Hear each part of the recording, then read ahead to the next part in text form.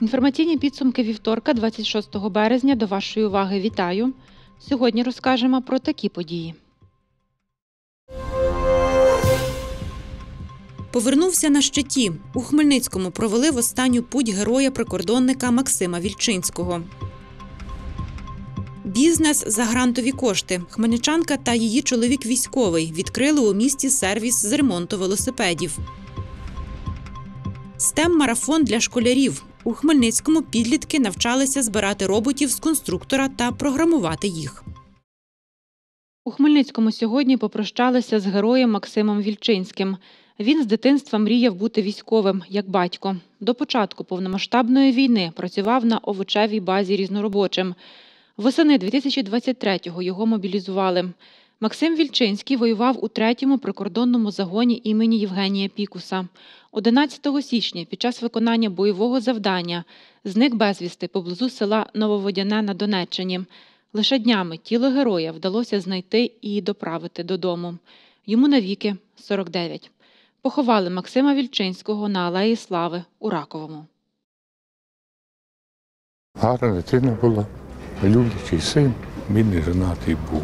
Його призвали. Він був в Рівному 4,5 місяці. 8 січня пішов на завдання на стики Луганської і Харківської області. На четвертий день позвонило командування Тачані, що син пропав, не вернувся завдання. Вдалося відкопати з бліндажа чотири тіла.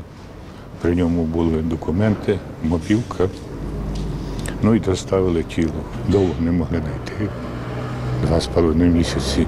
Військова сім'я була, вони знали, що це таке, але одночасно він зрозумів, що треба, треба йти захищати. І всім ми розуміємо, що в мене теж син зараз на фронті. Ми вдячні їм за те, що ми ходимо, дихаємо і відчуваємо все-таки, що весна.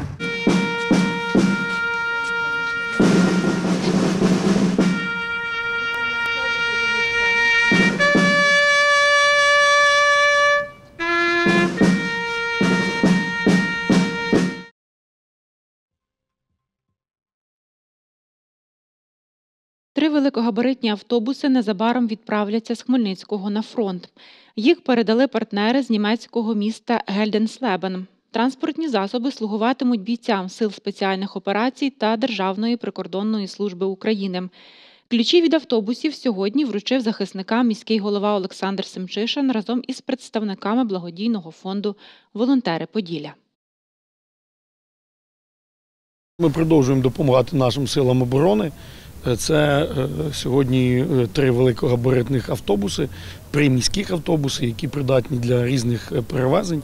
Е, Це результат нашої співпраці Хмельницької міської ради з нашим благодійним фондом Волонтери Поділля. Це результат вже десятирічної співпраці і наших друзів з міської ради Гальденслебена, німецького міста, яке е, допомогло нам цими великогабаритними автобусами. По суті, це позабюджетна допомога. Це ще один з напрямків нашої роботи, окрім виділення коштів військовим частинам, придбання квадрокоптерів, дронів, інших засобів і прямого фінансування сил оборони. Ми так само е, підключаємо до допомоги наші міста побратими, партнери, друзів, благодійні організації, власні ресурси, власні кошти для того, аби покращувати матеріально-технічну базу. Ми шукали авто, але з'явилася можливість е, і запропонували наші партнери, які нам з якими ми дуже давно вже співпрацюємо в в сфері забезпечення автомобільних збройних сил України, що є можливість придбати такі, е, не придбати, а навіть подарувати нам. Зараз буквально вони поїдуть виконувати ті завдання, які покладені на них і містом, і міським головою, і громадою Хмельницької, ну і в цілому державою. Це українська перемога. Сервіс із ремонту велосипедів відкрила хмельничанка Аліна Зеленко та її чоловік, який зараз служить у Збройних силах України. Започаткували бізнес завдяки гранту від служби зайнятості. У рамках програми Є робота подружжя отримало 500 тисяч гривень. Тож придбали обладнання, запчастини, інструменти, аксесуари та меблі. За умовами програми працевлаштували двох осіб. Отримані кошти повертатимуть державі у вигляді сплачених податків. На Хмельниччині від початку цього року грант на створення та розвиток власної справи отримали 11 учасників бойових дій та членів їхніх родин. Ірина Муляр розповість більше. Започаткувати власну справу вони планували ще до початку повномасштабної війни і зараз втілюють мрію у життя. Хмельничанка Аліна Зеленко та її чоловік відкрили у місті сервіс із ремонту велосипедів та продажу запчастин до них. Ми раніше ще задовго до, до е, початку війни трішки займалися велосправою, але ми більше були орієнтовані на продаж аксесуарів. Це все відбувалося через інтернет-мережу. Місто розвивається, дуже багато будується велодоріжок, збільшується кількість велосипедистів, і ми знали, що ця, е, ця ідея буде затребувана і буде актуальною саме в нашому місті. Чоловік Аліни Зеленко служить у лавах ЗСУ. Під час відпустки у додатку Дія натрапив на оголошення про грант від служби зайнятості для учасників бойових дій та членів їхніх родин. Тож вирішили спробувати, склали бізнес-план, подали заявку на порталі Дія та сконтактували зі службою зайнятості. Реалізувати її через грантові кошти ми не планували. З першого разу ми, до речі, не отримали грант, але з нами зв'язався обласний центр зайнятості, надали нам дуже компетентну консультацію, пояснили, як правильніше там виправити якісь технічні моменти в бізнес-плані. І ми ще раз переподалися, і вже з другого разу ми отримали грант. У рамках програми є робота отримали грант у розмірі 500 тисяч гривень. На ці кошти придбали запчастини, інструменти, аксесуари, меблі та обладнання. Специфіка саме нашого бізнесу в тому, що це сезонний бізнес, тобто його пік це весна, літо. Тому зараз почалась весна. Звичайно, кількість відвідувачів і якби замовлень збільшилась. Отримані кошти повертатимуть державі у вигляді сплачених податків. Обов'язкова умова для підприємців працевлаштувати щонайменше двох людей. Умови гранту, саме нашого, на які подавалися ми, такі, що е, він надається на умовах співфінансування. Тобто е, частину коштів надає держава, частину коштів ми вносимо своїх. На Хмельниччині від початку цього року 11 учасників бойових дій та членів їхніх сімей отримали гранти на відкриття або розвиток власної справи. Ще 20 минулого року. Швейне виробництво, роздрібна торгівля, відкриття закладів громадського харчування. Ну, це в більшості випадків або пекарні, або кав'ярні. І вирощування сільськогосподарської культур е, беруть. Ну і закупівля техніки. Автомайстерня є в нас підприємці, які закуповують бензовози, будуть займатися рознічною торгівлею паливно-мастильних матеріалів. З однієї сторони, грантові кошти отримали ніби ми, але насправді ці кошти далі перетікають в наступні бізнеси, тому що вивіску нам е, робив місцевий виробник, меблі ось ці і там е, рецепшн нам також виготовляв місцевий виробник. Е, Відеоспостереження, яке ми встановлювали, нам е, встановлював підприємець, який взагалі є переселенцем. Ну насправді це дуже е, крута ініціатива державна, яка дає змогу працювати, створювати нові бізнеси і підтримувати вже існуючі бізнеси. У рамках програми є робота. Учасники бойових дій та члени їхніх сімей можуть отримати грант від 250 тисяч до 1 мільйона гривень. Ірина Муляр, Микола Юрковський. Новини міста. Проєктний менеджмент та фандрайзинг для втілення успішних проєктів. Навчання для волонтерів із такою назвою влаштували у Хмельницькому.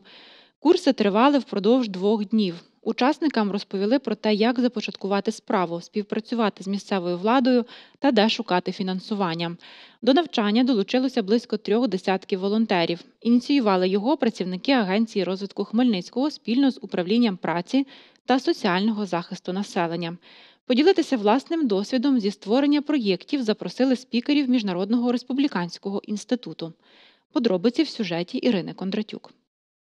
Волонтери громадської організації захисту тварин Врятуй життя нині працюють над тим, аби відкрити у Хмельницькому притулок для чотирилапих. Зоозахисниця Ірина Кравчук розповідає, земельну ділянку вже виділили, однак для будівництва поки що немає грошей. Щоб дізнатись про можливі шляхи фінансування, жінка долучилась до школи волонтерів з проєктного менеджменту та фандрайзингу для втілення успішних проєктів. Ми вирішили трошки повчитися, як правильно написати гранти, подаватися на ці гранти, якісь е, написати проекти, щоб зацікавилися нами на- нами можливо міжнародні якісь е, е, організації громадські, можливо, якісь меценати. Ми знайдемо в цьому проекті, як правильно реалізувати наші ці плани. Залучити додаткові кошти для свого благодійного проєкту хочуть й волонтери громадської організації Два крила. Нещодавно вони отримали фінансування на створення адаптивного одягу для військових, які отримали ураження кінцівок, та вже думають про розширення справи. Подальшому, е, після закінчення війни, е, цей проект можна реалізувати для е, неповносправних літніх людей, наприклад, які мають там також ураження певних органів тіла, що вони не можуть рухатися самостійно. Такий адаптивний одяг, я думаю, що для них також буде корисно. Відповіді на ці та інші питання, які цікавили волонтерів, шукали спікери Міжнародного республіканського інституту. Зокрема, розповіли учасникам про те, як створити проєкт, сформувати його структуру її бюджет та де шукати фінансування. Волонтери довгий час е, якось там ну більше можливо десь фандрайзали чи здійснювали якусь активність за там донати, кошти. Але зараз є така потреба для того, щоб е, залучати більше коштів, це писати е, гранти на донорські організації, отримувати якесь або іноземне фінансування від донорів, або від якихось, ну можливо, навіть українських фондів. Да, але для цього треба знати такі бази основи проектного менеджменту для того, щоб правильно виклати в проектній заявці і отримати це фінансування на суспільно важливі проекти. Також аналізували ризики у процесі реалізації проєкту та розповіли про те, як співпрацювати з місцевою владою. Особливо починаючи е, активісти, які роблять проекти, дуже плутають наслідки з проблемами і причинами. Тому дуже важливо правильно визначити, е, яку проблему ми вирішуємо. І ще важливо поставити собі правильні цілі, які- можна виміряти. Важливо не забувати про те, що проект, як і життя, е, він не сталий, постійно змінюється. Тому треба постійно оновлювати, переробляти, доробляти свої проекти для того, щоб більш стало працювати. Тривали курси впродовж двох днів. Ініціювали навчання працівники Агенції розвитку Хмельницького спільно з управлінням праці та соціального захисту населення. До нього долучилося близько трьох десятків волонтерів. Школа волонтера це відповідь на запит волонтерських організацій, які озвучили на координаційній раді волонтерів, що вони хочуть навчитися писати проекти. Адже ми розуміємо, що у нас багато е, організацій, але з іншого боку, у нас є багато можливостей для цих організацій. Потрібно вміти цими можливостями якісно скористатись. Е, Ми намагалися якомога більше охопити самих організацій і щоб було широке представництво з різних сфер. От е, здебільшого це волонтерство, е, яке до- допомагає якраз в гуманітарній сфері, але є і інші волонтери. Ірина Кондратюк, Микола Юрковський. Новини міста. Безкоштовний STEM-марафон для школярів відбувся у Хмельницькому. Впродовж двох днів весняних канікул підлітки віком від 10 до 13 років навчалися збирати роботів з конструктора Лего та програмувати їх. Соціальну ініціативу один з навчальних центрів міста впроваджує спільно з Хмельницьким IT-кластером. Такі майстер-класи проводять раз на два місяці. Цього разу охочих було 13. Ірина Аріон далі. 12-річний Павло разом з однокласником збирає гоночну автівку. Він один з 13 учасників безкоштовного стім-марафону для школярів. Я ходжу на програмування, і, мені це здалося, що мені це буде легко. У мене досвіду з цим Лего електричним ні- ніколи не було. Це перший раз. Ну я напевне хочу скласти якийсь годинник, щоб він сам рахував години, секунди, хвилини. Для того, щоб ця штука зарухалася, перетаскує. Вам потрібно встановити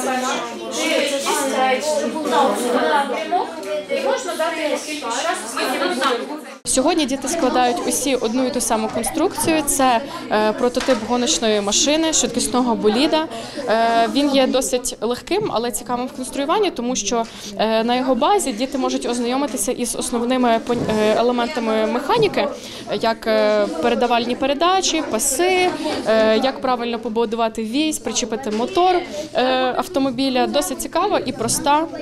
Ось, але дуже надійна конструкція, то ми її пропонуємо збирати дітям для того, щоб ознайомитися із робототехнікою, з нашими наборами. Соціальну ініціативу один з навчальних центрів міста впроваджує спільно з Хмельницьким IT-кластером. Цього разу марафон тривав впродовж двох днів весняних канікул. Даємо можливість спробувати себе у ролі програмістів, е, використовуючи мову програмування Python. Ці знання вони якби націлені на те, щоб дітки знайомилися з фізикою, математикою, але робили це на практиці. Тобто використовуючи там е, роботів і підручні матеріали, які у нас є. В наступному будемо проводити і для більш молодших, бо дуже багато було бажаючих саме от, е, з молодшої вікової категорії. Е, Це 7 років, це прямо от, ну, запитували багато.